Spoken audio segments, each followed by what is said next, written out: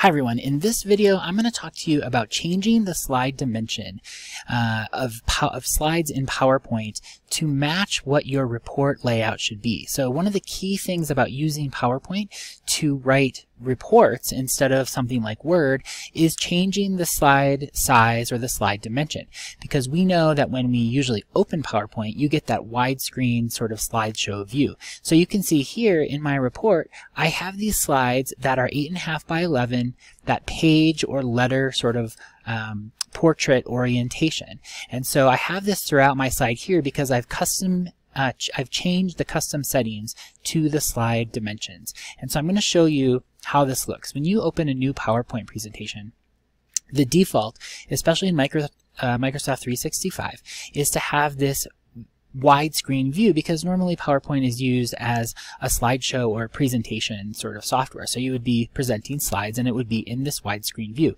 But you can actually customize the dimensions of these slide sizes to match anything that you need. So it doesn't have to just be a letter uh, size, an 8.5 by 11. You could use this to be to build a giant poster, other kinds of custom banners. You can use PowerPoint to create um, social media cards and social media profile images, things like that.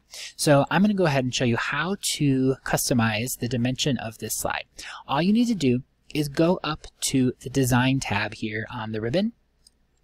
Click that and you're going to go over here to Customize and you can see the Slide Size drop-down menu.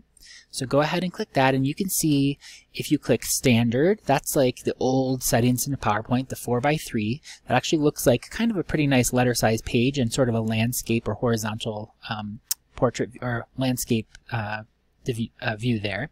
And then we can go back to widescreen. That's that 16 by 9 screen dimension. This is really good for viewing in screens. But then you can also click on custom slide size right here. And then when you click on that, you get this dialog box.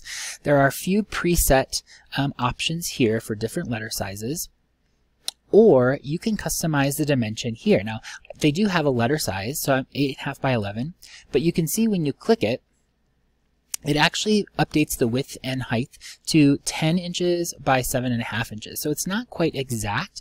And this really doesn't have anything, um, there's nothing that you really have to do with this. You could totally click on letter page and be just fine, but I like to make sure that my dimensions are exact. So I'm just going to go ahead and customize these by 11 inch width and 8.5 inch um, height. And then I'm going to go ahead, this is portrait right here, and this needs to be portrait here. I'm going to click on OK. I'm going to say maximize. And there you see my page dimension has changed to a letter size dimension. Now from here, I could go ahead and start customizing my slide, put in my report text and everything like this. But from now on, when I insert a new slide, it's going to be in that letter size dimension. And I have all the different layouts that I can have um, right here. So this is a really great way to start your report in PowerPoint instead of Word, changing the slide dimensions. Hope you check out the next video, which is tip number two on um, uh, using the guides and ruler lines to create design grids for your page layout. Have a good one.